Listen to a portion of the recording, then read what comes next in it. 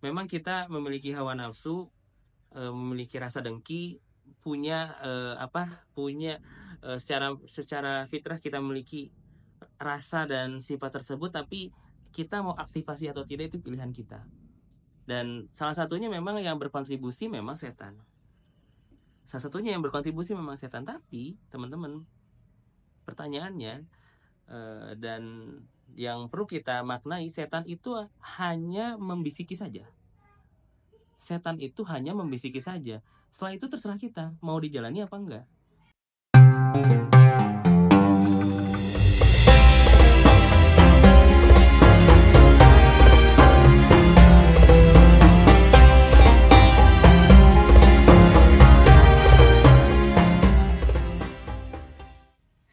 Bismillahirrahmanirrahim. Assalamualaikum warahmatullahi wabarakatuh. Alhamdulillah, alhamdulillah anzala sakinata fi qulubil mu'minin liyazdadu imana ma imanihim. Asyhadu an la ilaha illallah wahdahu la syarikalah wa asyhadu anna muhammadan abduhu wa rasuluhu la nabiyya wa la rasula ba'da. Rabbi zidna ilman warzuqna fahman. Amin ya rabbal alamin. Alhamdulillah teman-teman semuanya tiada kata yang pantas kita ucapkan selain bersyukur kepada Allah Subhanahu wa taala. Alhamdulillah kita semua dapat bertemu kembali di channel YouTube DPU Dul Hikam membahas tentang hikmah-hikmah belajar dari kisah Nabi Yusuf. Alhamdulillah kita masih di bersamai oleh uh, eh, Dr. Yasir Burhami dalam kitab Renungan Iman dalam surat Yusuf. Salawat dan salam mari kita limpah curahkan kepada Nabi Muhammad Wasallam, kepada para keluarganya, kepada para sahabat, tabi'in, tabi'ut tabi'in, serta kepada seluruh kaum muslimin dan mukminin yang berjalan di atas sunnah beliau hingga zaman nanti. Alhamdulillah teman-teman eh, pada kesempatan kali ini eh, kita akan melanjutkan kembali pembahasan kita.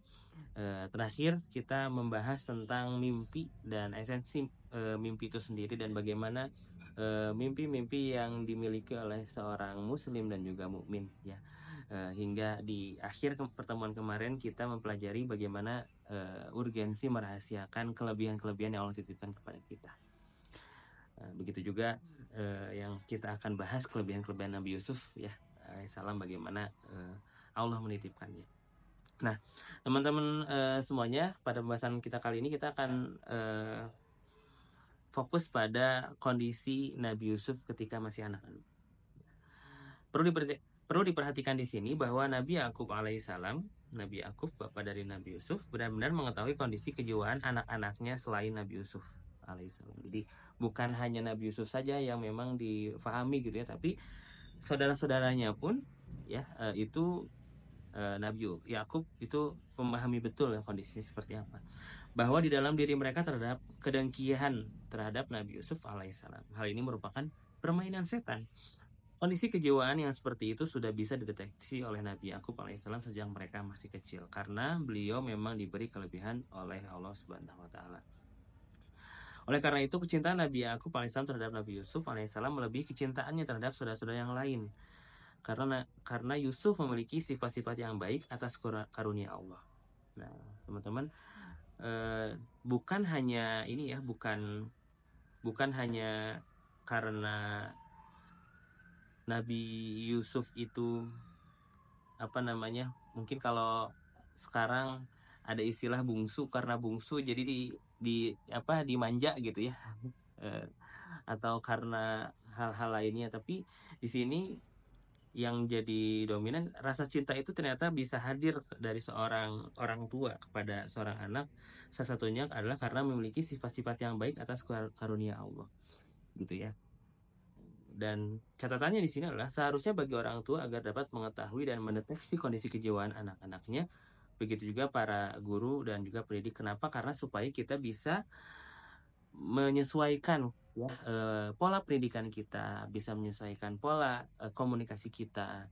Bukan berarti anak yang tidak baik itu tidak layak dicintai gitu ya. Tapi memang pendekatan dan juga pola pendidikannya pasti memiliki pendekatan yang khusus seperti itu ya. Dan bukan berarti eh, saudara-saudara Nabi Yusuf yang lain tuh dibenci gitu ya Eh, secara mutlak oleh Nabi Yakub enggak. Tapi e, dengan rasa cintanya dengan e, apa namanya dengan sosok keayahannya begitu juga beliau adalah seorang nabi sudah bisa mendeteksi hal tersebut maka ada treatment-treatment tersendiri ya. Kita ketahui saudara Nabi Yusuf itu membawa Nabi Yusuf dan hendak membawa bermain gitu ya seperti itu kondisinya. Itu pun tidak diizinkan karena khawatir karena Nabi Yakub sudah tahu bagaimana kondisi saudara-saudaranya ini gitu ya. Karena hal itulah karena sudah mengetahui kondisi uh, dan karakter anak-anaknya itulah jadi ada sifat sikap-sikap preventif ya atau uh, pencegahan seperti itu sekali lagi bukan karena benci bukan karena gak suka tapi uh, dalam proses pendidikan dalam proses uh, pembinaan akhlak terdapat hal-hal yang memang perlu kita uh, apa namanya perlu kita sesuaikan gitu ya Hendaknya mereka mengetahui kondisi sifat-sifat anak didiknya dengan baik sehingga mereka mampu melakukan bimbingan sedini mungkin gitu ya. Jangan sampai uh, loss-loss sudah besar, sudah memiliki bahkan sudah lewat kondisi akil balik ya, teman-teman. Uh, kondisi seperti itu masih belum bisa dibenahi gitu ya. Nah, uh, kita ketahui juga ya kondisi akil balik pada seseorang uh, muslim itu adalah kondisi yang sangat krusial di mana e, dua kata ya ada akil dan balik. Akil yang artinya e, apa ya e, sudah secara utuh sempurna memiliki bisa membedakan mana yang baik dan buruk serta menjalankannya. Dan juga balik sebagaimana secara e, paripurna ya e, fisiknya itu e, siap untuk e, apa ya namanya untuk yang laki-laki siap untuk menikah dengan perempuan untuk bisa e, bereproduksi gitu ya secara biologis. Itu e, dua hal dari sudut pandang Islam itu menjadi titik yang krusial. Karena e, balik pasti terjadi gitu ya pasti terjadi. Karena itu e, sebuah timeline biologis seorang manusia gitu ya. Seorang anak laki-laki sudah bisa memproduksi sperma seorang anak perempuan sudah bisa memproduksi sel telur dan siap dibuahi gitu ya. Dan itu bisa terjadi dalam Islam pun itu sudah dijelaskan tapi sayangnya memang kondisi akil ini yang tidak secara otomatis si, tidak seotomatis e, balik gitu ya. Balik itu kan dari asal katanya balagun nikah ya sudah sudah e, sampai di titik seorang itu udah siap ready untuk menikah. Jadi memang kalau pertanyaannya kapan ya seorang muslim siap menikah secara biologis ya saat dia haid itu perempuan ya sebenarnya sudah gitu ya. laki-laki sudah e, memproduksi sperma sebenarnya ya sudah. Namun masalahnya biasanya di hal-hal lainnya selain itu gitu ya. Dan salah satunya yang krusial adalah akil. Kondisi akil teman-teman e, ini perlu banyak sekali e, apa namanya perlu banyak sekali stimulus stimulus ya.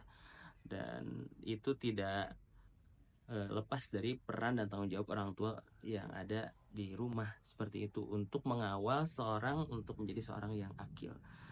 Karena tadi secara definisi bukan hanya uh, bisa membedakan mana baik dan buruk tapi menjalankannya gitu ya secara paripurna karena di titik itulah di titik balik itulah teman-teman uh, seseorang itu sudah memiliki uh, taklif syar'i ya sudah punya beban syariat beban syariat yang di mana e, seseorang perlu memenuhi beban tersebut, perlu mengikul, memikul beban tersebut dan hal tersebut akan dipertanggungjawabkan nanti di depan di hadapan Allah. Itu sesuatu yang e, perlu kita garis bawahi, terutama dalam proses e, kehidupan manusia.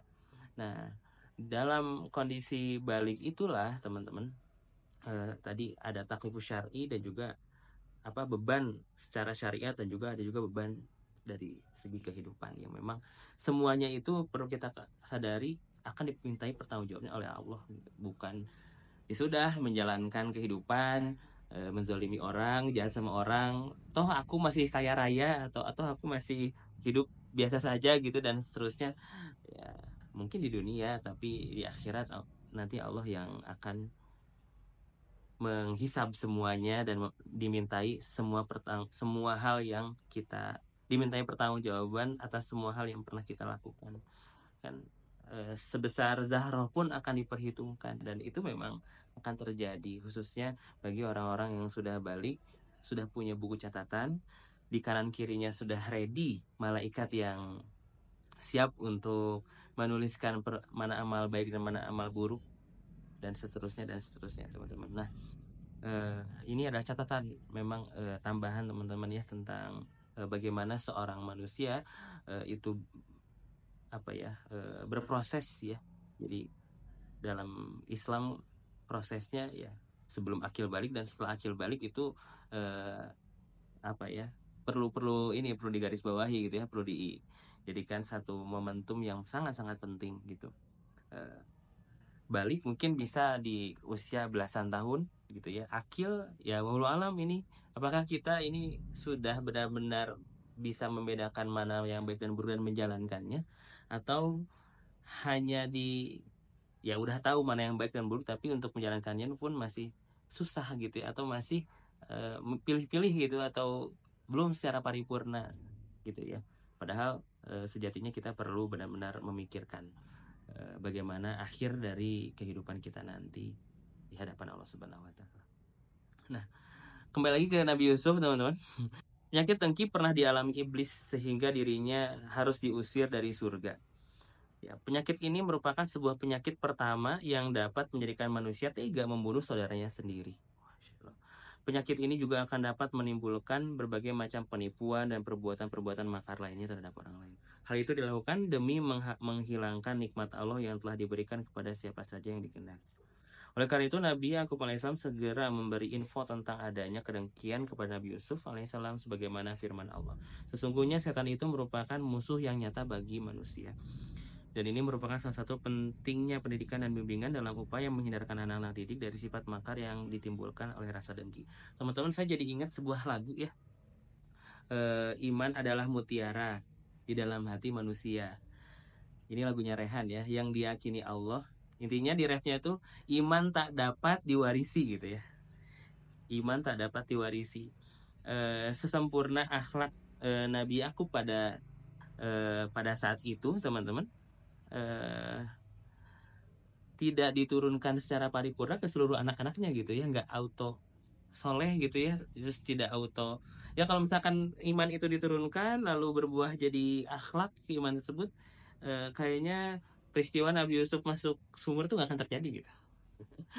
Gitu ya. Ternyata eh, setiap orang memang akan memiliki free willnya masing-masing. Mana yang eh, dia akan Eh, kerjakan, mana yang dia tidak akan kerjakan, itu tergantung kepada orangnya masing-masing. Bahkan anak seorang nabi sendiri pun, ya, e, dan diabadikan dalam Al-Quran itu e, terlibat dalam e, ya apa ya kejadian memasukkan seorang nabi kecil ke dalam sumur gitu ya karena rasa dengkinya.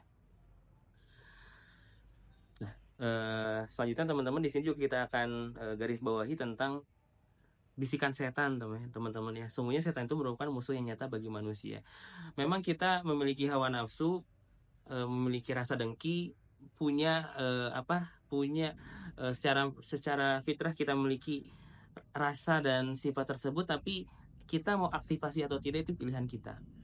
Dan salah satunya memang yang berkontribusi memang setan. Salah satunya yang berkontribusi memang setan. Tapi teman-teman pertanyaannya Eh, dan yang perlu kita maknai setan itu hanya membisiki saja. Setan itu hanya membisiki saja. Setelah itu terserah kita mau dijalani apa enggak. Gitu ya. Itu hanya tipu daya gitu ya. Bahkan guru-guru kita sering banget ya Ustaz Khalid Basalama lalu eh, apa namanya Ustaz Faizar gitu ya. Selalu eh, menyampaikan ya eh, tipu daya setan itu lemah. Kita lebih kuat namun e, pertanyaannya kita mau mendengarkan setan atau mau tetap kita meneguhkan hati untuk terus tidak terbisiki dan tidak mengikuti apa yang dimau setan. Gitu ya. Terbesit untuk e, apa ya dengki kesel terus sama orang ya. Kalau kita terus meng, mengiyakannya gitu ya akan terus terjadi. Bahkan bisa bukan hanya dari hati saja bisa jadi malah terrealisasi dalam sebuah perbuatan yang bisa merugikan dan akhirnya ber, berujung dosa gitu ya. Dan ini yang terjadi, setan membisiki, menggoda bagaimana akhirnya saudara-saudara Nabi Yusuf bersekongkol dan uh, apa dalam sebuah kebersamaan gitu ya, dengan sebuah kebersamaan strategi yang uh, apa ya yang mereka lakukan gitu ya. Untuk bisa menghilangkan Nabi Yusuf dari dari rumah mereka. Supaya tidak ada Nabi Yusuf di keluarga mereka. Gitu ya. Kalau min dalik. Dan semoga teman-teman eh, sifat makar, bisikan setan, semoga kita terlindung darinya. Semoga tidak ada yang ya tidak tidak ada yang eh, terugikan dengan sifat-sifat eh, buruk kita. Nauzubillah min dalik ya teman-teman. Semoga Allah lindungi kita dari hal-hal yang memang eh, kita ya tergoda gitu ya. Jadi makanya doa A'udzubillahi minasyaitonirrajim. A'udzubillahi minasyaitonirrajim itu benar-benar penting gitu ya. Mau kesel, mau lagi marah, mau lagi nggak suka sama orang, mau kayaknya ini bentar lagi mau naik pitam, kayaknya mau mukul, kayaknya mau marah-marah di dalam rapat gitu. Ya. Ini kok nggak sesuai, ini kok nggak bagus dan seterusnya. Itu ditahan teman-teman gitu ya. Itu kok banyak-banyak perlu banyak-banyak istighfar dan kita berminta perlindungan kepada Allah. Ini kok godaan setannya kuat sekali gitu ya. Ya beristighfar dan ta'awuz. A'udzubillahi minasyaitonirrajim a'udzubillahi minasyaitonirrajim aku berlindung pada Allah dari godaan setan a'udzubillahi minasyaitonirrajim ta'awuz itu bukan hanya dibiasakan dalam sebelum baca Quran tapi serangan-serangan setan pun kita coba tangkal dengan doa tersebut. Ya, uh, sebuah pembelajaran luar biasa. Ya, mungkin ini dari sekilas ya dari pada kesempatan kali ini dari uh, keluarga Nabi Yakub dan juga Nabi Yusuf di dalam. Itu saja teman-teman untuk uh, kesempatan kita kali ini. Terima kasih jazakumullah bejana walau alam bisawab sampai jumpa lagi di pertemuan selanjutnya. Silahkan diambil hikmahnya dan juga uh, silahkan untuk di share ya teman-teman ke bagi ke teman-teman yang membutuhkan dan juga keluarganya. Sampai jumpa lagi di lain kesempatan. Wassalamualaikum warahmatullahi wabarakatuh. قالوا أئنك لأنت يوسف قال أنا يوسف قال أنا يوسف وهذا أخي قد من الله علينا إنه من يتق ويصبر فإن الله لا يضيع أجر المحسنين.